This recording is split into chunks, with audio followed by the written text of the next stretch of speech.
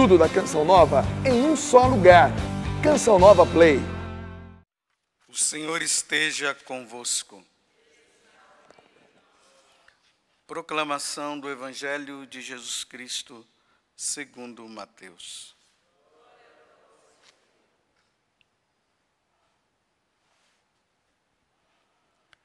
Naquele tempo, disse Jesus aos seus discípulos: Não penseis que vim abolir a lei e os profetas.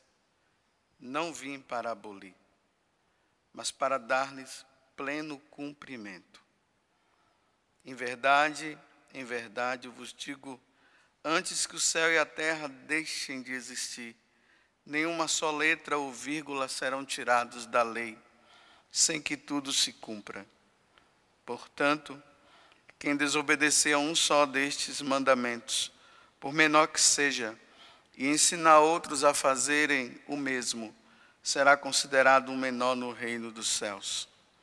Porém, quem os praticar e ensinar, será considerado grande no reino dos céus. Palavra da salvação.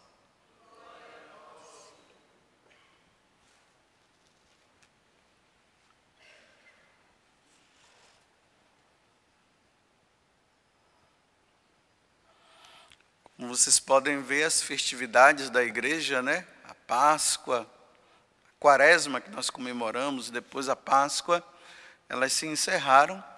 Agora nós sacerdotes nos paramentamos de verde para entrar, entrarmos no tempo comum, que na verdade é esse tempo onde nós vamos estar com Jesus na sua vida cotidiana. Aquele tempo que ele veio e passou a ensinar os apóstolos, e aí ele vai nos ensinando também. E nós estamos agora no Sermão da Montanha, aquele grande sermão que Jesus fez, que começa ali no capítulo 5, com as bem-aventuranças, passa pelo capítulo 6 e vai até o capítulo 7. E ali Jesus vai instruindo tanto aos apóstolos, vocês veem que hoje está dizendo aqui, né?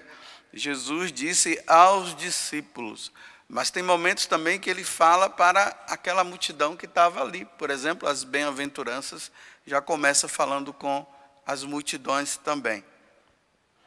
E aqui Jesus agora ele vem trazer um ensinamento que é muito importante para que nós tenhamos uma compreensão da pessoa de Jesus. Então Jesus está ali com os discípulos, ele diz assim: Olha, não penseis que eu vim abolir a lei e os profetas, ou seja, eu não vim abolir o Antigo Testamento, eu não vim abolir a lei lá que, são, que é o Pentateuco, com todos os livros da Sagrada Escritura no Antigo Testamento e os profetas que ensinaram. Não, eu não vim. Eu vim, sim, para aperfeiçoar. Eu vim para colocar tudo plenamente, para cumprir. Eu gosto muito da tradução que diz assim: que ele, ele veio para aperfeiçoar, em vez de dizer dar pleno cumprimento também é mais importante até do que aperfeiçoar. Mas para entender melhor, acho que aperfeiçoar fica melhor. Então, como é que nós vamos entender isso? Então, olhemos para a pessoa de Jesus Cristo. Ele é Deus, Ele é o Senhor. Então, Ele veio aperfeiçoar, Ele veio dar o pleno cumprimento. Então, Existia a lei do Antigo Testamento. Ele agora ele aperfeiçoa dizendo: Eu sou a lei. Tudo aquilo que foi escrito lá sou eu. Ele fala dos profetas. Quantos profetas foram falando e ensinando ao povo, Jeremias, Isaías, Abacuque e todos os outros Aí agora ele diz: Eu vim aperfeiçoar os profetas. Eu sou o profeta, por excelência. Eu vim aperfeiçoar, vamos dizer, o Antigo Testamento. Ele aperfeiçoa agora com o Novo. Ele é o Antigo e ele é o Novo. Agora vem o Novo Testamento. Imagina, no Antigo Testamento tinha mais de 600 preceitos que eles tinham que cumprir, né? Mais de 600. Aí Jesus vem, aperfeiçoa nos dez mandamentos. Simplifica. E depois ele simplifica mais ainda, dizendo: só dois basta. Amar a Deus sobre todas as coisas e amar o próximo. Só que nesse amar a Deus, amar o próximo, está incluso os dez e todos aqueles preceitos do Antigo Testamento. Ele vai aperfeiçoando. Olha como é que ele aperfeiçoa, ele cumpre. Moisés tira o povo das mãos do faraó. Faraó aqui também ele pode ser simbolizado como o próprio diabo, como o demônio. Povo está lá no Egito, escravo de Faraó. Vem Moisés e tira, liberta. Jesus é o novo Moisés. Estávamos escravos de Satanás. O novo Moisés vem e nos tira das mãos de Satanás. Jesus é o novo Moisés. Leva, Moisés leva o povo para uma terra prometida, e lá vai dizer assim: lá vai correr leite e mel, para dizer, é o lugar da felicidade. O novo Moisés nos tira desse mundo e nos leva para o céu. Lá sim é a verdadeira felicidade. Lá tudo vai se cumprir de forma diferente. Lá no Antigo Testamento se fala do maná, que foi o alimento do povo no deserto, que deu força para eles na caminhada. Jesus agora vem cumprir, vem aperfeiçoar. Ele diz: Eu sou o novo maná, eu sou o pão que desceu do céu. E aí, a Eucaristia, ele que se torna presente na Eucaristia, Lá no templo de Jerusalém, dentro do templo, existia ali um lugar onde eles colocaram os pães da proposição que era o maná, para lembrar né, a fome que eles tiveram no deserto e agora eles precisavam sempre lembrar disso através daquele pão da proposição que estava lá dentro do templo. E Jesus diz: Eu sou esse pão. E vejamos, né, nas nossas igrejas, na celebração eucarística, aquele pão que é consagrado é o próprio Cristo. No Antigo Testamento, também, né, lá dentro do templo, tinha aquele a né, aquele candelabro lá que tinha sete braços, que tinha que ficava aceso ali aquela aquela luz que não podia se apagar de maneira nenhuma. Aí Jesus diz assim: Olha, eu sou a luz do mundo, não somente a do templo, eu sou a luz agora. As trevas que esse mundo está, agora é dissipada com a minha presença. Eu vim para clarear esse mundo. Olha como é que é ele. Veja como é que ele vai cumprindo, vai aperfeiçoando, né? O templo de Jerusalém, aonde estava a presença de Deus ali,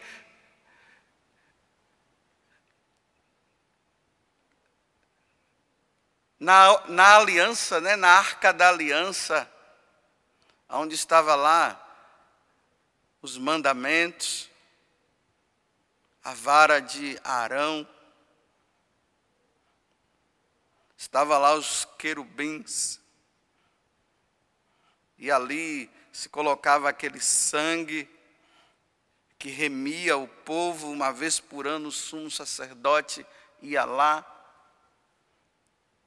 E agora Jesus vem e diz assim: Eu sou o novo templo.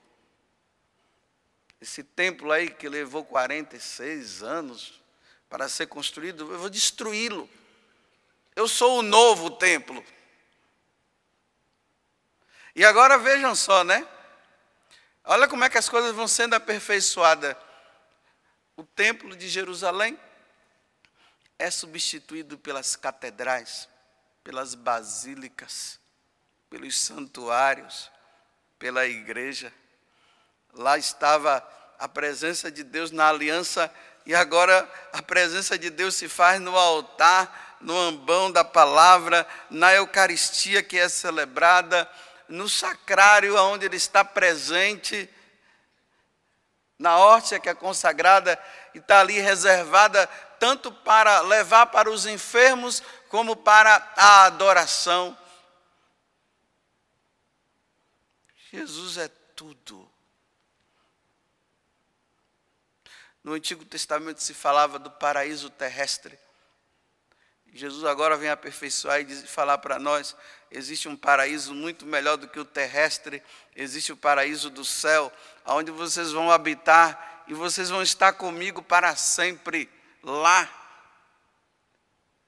O sacrifício que era feito no Antigo Testamento levava-se um animal. João Batista olha para Jesus e diz assim: Olha, aquele animal, aquele cordeiro, já não será mais aquele cordeiro, eis o cordeiro de Deus que tira o pecado do mundo. E quem é o cordeiro? É o próprio Cristo. Se no Antigo Testamento levava-se um animal para ser morto e oferecido, agora já não é mais um animal, é o próprio Deus, é Jesus que é oferecido, ele é o novo cordeiro. É ele que tira o pecado do mundo, porque aquele pecado que se tentava tirar com, anima, com os animais não era suficiente, tinha que ser com o novo. E o novo é Jesus Cristo. É Ele que apaga, é Ele que tira o pecado do mundo. Que coisa belíssima que Jesus está dizendo para todos nós. E que a nossa vida agora deve ser voltada para Ele, por Cristo, com Cristo e em Cristo, tudo por Ele, para Ele, com Ele. A nossa vida agora, ela só terá sentido se for com Jesus. Sem Jesus, a nossa vida não tem sentido nenhum. Não tem como viver nesse mundo se nós não voltarmos se nós não acordarmos pensando nele, se nós não passarmos o dia pensando nele, se nós não formos dormir pensando nele, a nossa vida não tem sentido nenhum. Ele é o centro de tudo. Tudo está centrado nele. Tudo foi feito por ele, para ele. E sem ele nada foi feito de São Paulo. Se existiu o povo de Deus, os hebreus, os judeus, agora aperfeiçoado, o novo povo são os cristãos, os seguidores de Cristo. Se no Antigo Testamento Deus não era visto, agora é aperfeiçoado, ele é visto, ele foi visto naquele menino que nasceu na gruta de Belém, que nasceu da Virgem Maria. E uma vez que ele foi contemplado, foi visto, nós aguardamos o tempo aonde nós iremos contemplá-lo por toda a eternidade. E agora nós vamos vendo, né, pessoas que dão a vida por ele. Aí nós encontramos, se lá tinha o sumo sacerdote, ele é o sumo sacerdote. Aquele sacerdote que entrava no templo, o sumo sacerdote, que entrava no templo uma vez por ano. Ele agora ele é, ele é o sumo sacerdote por excelência. Ele entra no templo uma vez por toda e dissipa o pecado de toda a humanidade. E aí nós vamos vendo, né? Se no Antigo Testamento eram os profetas, agora no Novo nós encontramos os apóstolos, os enviados, e aí vem os bispos, vem os sacerdotes, vem os diáconos. Tudo aperfeiçoado, tudo preparado, tudo cumprido, para que nós, nos voltando para Ele, possamos um dia participar da felicidade eterna. Aquela preparação toda feita no Antigo Testamento se cumpriu na pessoa de Jesus Cristo. E se nós nos voltamos para Ele, ensinamos o que Ele nos ensina, como Ele está falando aqui, e cumprimos o que ele nos ensina, um dia nós poderemos participar da eternidade junto com ele. E viva o catolicismo, viva a Igreja Católica, que proporciona e nos dá tudo isso, até usando a expressão popular, né, de mão beijada. E a única coisa que Ele quer é que nós sejamos inteiramente dele. Aí a gente vai, nós vamos encontrando nessa igreja, né? Homens e mulheres que se consagram inteiramente a Ele, os religiosos, as religiosas, que vão se tornando sal no meio desse mundo, luz também para o mundo, uma vida dedicada totalmente para Ele. Aí nos sacramentos nós encontramos, né? No novo, o casal, o homem e a mulher que se une para dar filhos para Deus, para que o céu seja povoado. E aí Deus dá o sacerdote, para que o sacerdote alimente na igreja, perdoe os pecados, para que eles estejam prontinhos para que no dia que Jesus chamar, eles possam ir para a eternidade e viver eternamente com o Senhor. Que coisa maravilhosa que Jesus está dizendo para nós no dia de hoje. Em verdade, eu vos digo, antes que o céu e a terra deixem de existir, porque um dia, meus irmãos, essa terra que nós vivemos, ela vai deixar de existir. E este céu que nós vemos, né? Esse céu aí bonito, vai deixar de existir. Aí nós vamos habitar no novo céu e na nova terra. Às vezes o pessoal pensa que o novo céu e a nova terra é aqui. Não, não é aqui. O novo céu e a nova terra é lá. Onde muitos santos já, já foram, eles conseguiram, eles foram fiéis a Deus e agora eles estão participando dessa alegria já lá. Eles já se tornam moradores da pátria celeste não da pátria terrestre onde nós estamos. E aqui nós estamos militando nessa luta constante contra Satanás, contra o pecado, porque o mistério da impiedade está fazendo de tudo para nos afastar, para nos tirar daqui, ou melhor, para nos tirar de lá. E nós estamos nessa luta, aí nós, nós recorremos a Jesus, recorremos à Virgem Maria, para que ela possa nos ajudar nessa caminhada de nessa caminhada que nós fazemos para a eternidade, para estarmos um dia lá. Essa luta constante, porque esse essa terra e esse céu que nós vemos aí, tudo vai desaparecer. E vai ser bonito, meus irmãos, depois que nós, nessa luta constante contra o pecado, contra o mal, depois de passarmos por tantos sofrimentos e tantas dificuldades, nós nos encontrarmos todos lá. Aí não haverá mais choro, não haverá mais sofrimento, não haverá mais dor. Aí, como eu sempre falo aqui, uma alegria que nunca vai passar. tudo porque nós centralizamos a nossa vida naquele que é o Alfa e o Ômega, o princípio e o fim. Jesus Cristo, o Senhor. Que Deus nos conceda então a graça de sermos fiéis. Fiéis como Nossa Senhora foi, né? Porque até isso Deus aperfeiçoou. A Eva do Antigo Testamento foi desobediente. A nova Eva, aperfeiçoada, ela é a obediente por excelência. A obediência dela é tão grande que ela nos dá de presente o próprio Salvador. O Salvador do mundo.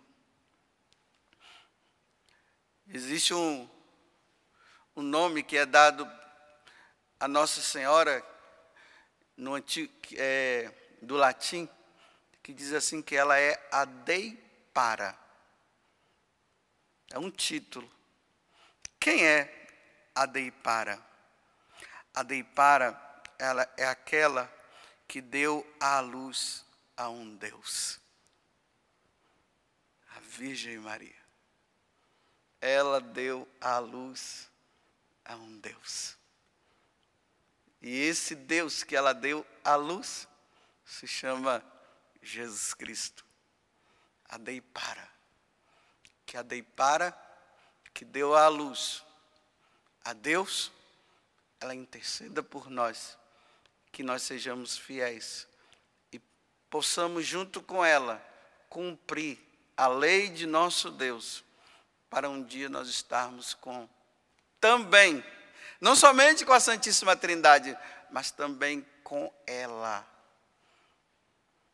Vai ser bonito do, demais quando nós nos encontrarmos com Nossa Senhora no céu e nós dizermos assim para ela: Dei para. Foi a Senhora que deu a luz ao nosso Deus e Salvador. Preparemos-nos agora com o nosso coração, colocando a nossa vida no altar de Deus, para que nós possamos nos alimentar daquele que veio nos salvar e que Ele nos dê força nessa caminhada, nessa labuta, para que um dia estejamos no céu, com a graça dEle e a intercessão da Virgem Maria. Adei para. Tudo da Canção Nova em um só lugar. Canção Nova Play.